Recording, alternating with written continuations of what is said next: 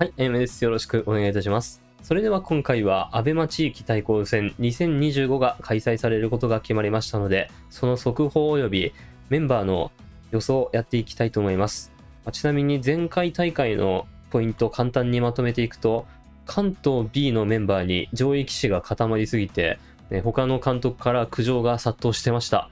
ただそれにもかかわらず、藤井聡太無双で見事にチーム藤井ことチームチューブが優勝となりました。本当にすごいですね。えーよくあの関東 B 永瀬九段とか伊藤栄王とか渡辺明九段とかそうそうたるメンツが集まってたんですが藤井七冠の、えー本当に独走とも言えるような圧倒的な成績で優勝となりました後ほどちょっとその成績の振り返りもやっていきたいと思いますけど本当にすごかったですねちなみに52歳の羽生九段が圧倒的成績で若手を一周してました。対藤井戦を除くとなんと9勝1敗というとんでもない成績でした。まあその一方でほとんど出番のない監督も結構いたんで、まあ、ちょっとこれがあの大会の、えー問題点とも言われておりました。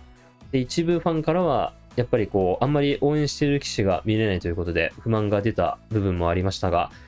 羽生九段ですとか藤井七冠のスター棋士たちの素晴らしい活躍もありまして、まあ、第1期。やっぱり視聴率的にはかなりの大成功を収めていたというところでした。ちなみに藤井八冠、えー前回八冠だったんで八冠と記載してましたが藤井七冠が大活躍チームチューブが優勝。藤井八冠当時なんと15勝1敗勝率9割3分8厘という信じられないような圧倒的な数字でした。まず予選1回戦関西 B 戦は藤井八冠が1人でチームの必要な勝ち星5勝を稼いで5勝0敗で個人成績5勝0敗チーム成績5勝1敗で見事に2回戦進出となりました。予選決勝の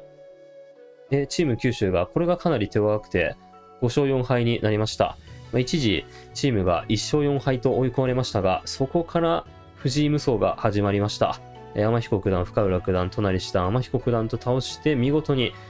1勝4敗から藤井八冠の4連勝で5勝4敗と大逆転。これで決勝トーナメント進出決まりました。で準決勝第1局は羽生九段が素晴らしい成績を残していた関東 A との対戦となりましたが佐々木勇気八段そして羽生九段と倒してえ見事に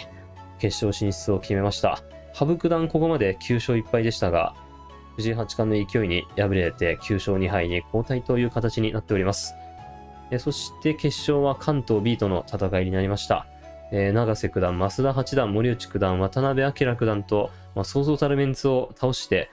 個人4勝0敗で見事にチームを優勝に導きました。えーこの結果、藤井八冠15勝1敗、勝率9割3分8厘、当然のように MVP を獲得して、えーまさに藤井八冠のための大会と言われておりました。まあ、羽生九段も50当時52歳で9勝2敗、本当にすごかったですけどね、えー果たして2025も活躍してくれるかどうか注目でございます。ということで、前回の監督と出場メンバーご覧いただきたいと思います。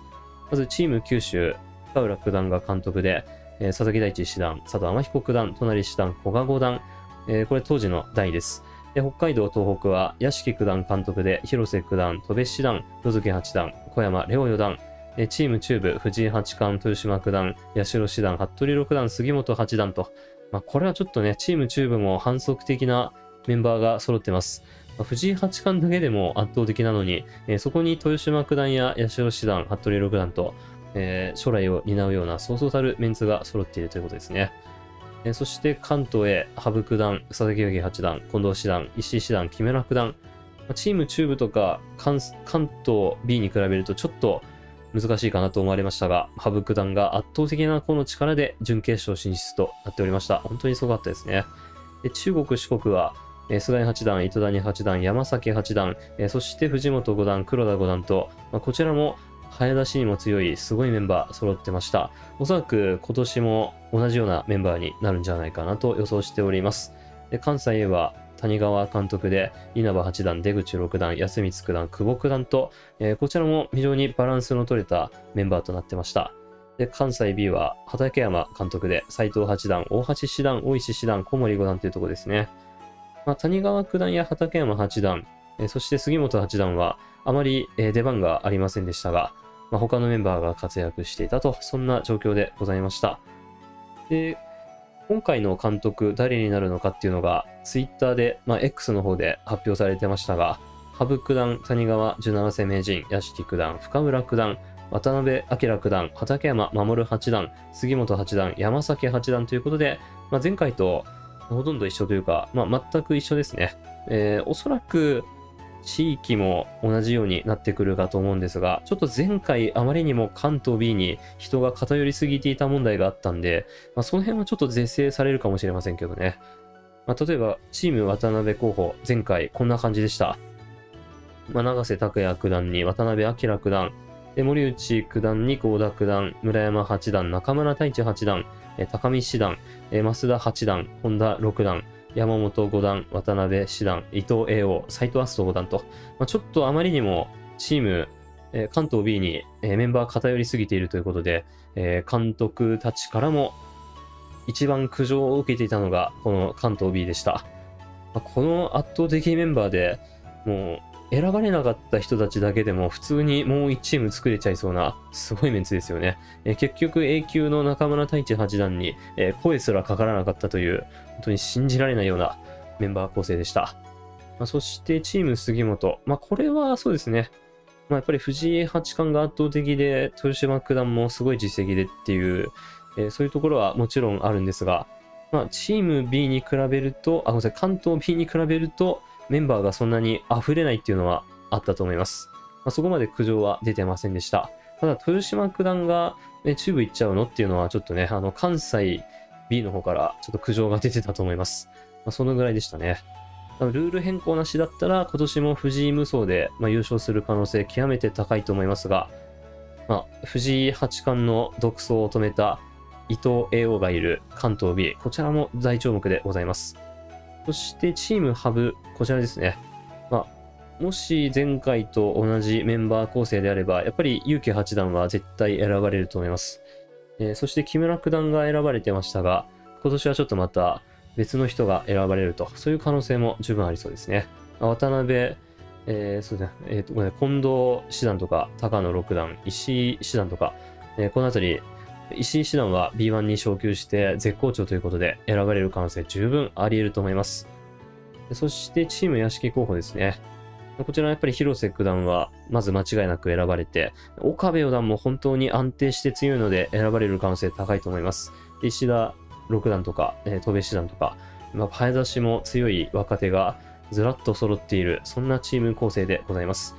やっぱり前回選ばれた小山四段とか、えー、安倍、ダブル安倍師団も本当に強いので選ばれる可能性十分あると思います。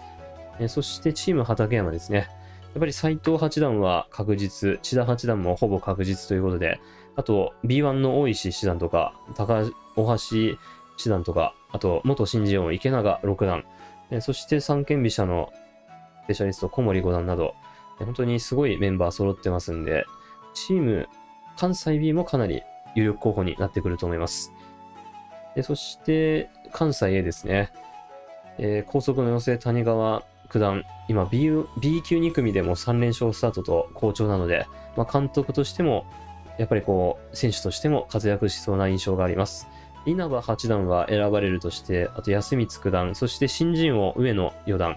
西田五段、出口六段、富田四段など、えー、本当に富田五段など本当に安定感抜群の若手棋士が揃ってますんで、えー、関西へもちょっと有力かなというふうに思っています。森本四段も本当に強いので、個人的に注目しています。そしてこちらですね、チーム山崎。やはり菅井八段鉄板で、あと糸谷八段も選ばれる可能性高いと思います。そして徳田四段も四段の中では抜群の成績。で、黒田五段、そして藤本渚五段ということで、やっぱりこう、前回も選ばれた菅井八段、藤本五段、糸谷八段は、えー、鉄板として、あと一人誰が選ばれるかなというふうに、えー、つい先日、永瀬九段を持将棋の末に倒した粘り強い狩山四段ですね。えー、個人的には狩山四段選ばれるんじゃないかと、え、そんな風に予想しております。チーム深浦、まあ、こちらは少数精鋭という感じですが、本当に天彦九段、隣七段、佐々木大地七段、えー、古賀六段、深浦九段と本当に強いメンバーずらっと揃ってますし、まあ、十分えー、優勝の可能性あるのかなというふうに思っております。まあ、前回と監督が同じなので、まあ、おそらくルールもえーそしてメンバー構成も変えずに、また同じように大会やるんじゃないかなというふうには思いますが、まあ、ちょっと関東 B から溢れる人たちが多すぎるんで、まあ、ここはちょっともう一人ぐらい監督、関東 B1、関東 B2 とか、なんか分けてもいいんじゃないかなっていうのは思いますけどね。まあ、例えばなんか渡辺監督と永瀬監督で、関東 B1、関東 B2 みたいにちょっとね、えー区切ってもいいぐらい、それぐらい本当にメンバー充実しております。まあ、優勝予想としてはやっぱり関東 B、そしてチーム中部、えーやっぱりルール変更なしであれば藤井七冠が無双して優勝する気もしますが、やっぱ羽生九段が本当にフィッシャールール抜群に強いんで、えー関東 A も十分、あと結城八段も A 級上がって本格化してきましたんで、十分優勝の可能性あると思います。やっぱり関東 B、中部の優勝争いに、えー関東 A がどれだけ食い込めるかと、えー他のチームがどれだけ食い込めれるかという戦いになると思います。ということで、ぜひ皆様の優勝予想チームもコメントしていただけると幸いでございます。それでは、ここまでご視聴いただきまして本当にありがとうございました。この動画がいいなと思ってくださった方は、高評価、チャンネル登録いただけますと大変励みになりますので、どうぞよろしくお願いいたします。それでは、失礼いたします。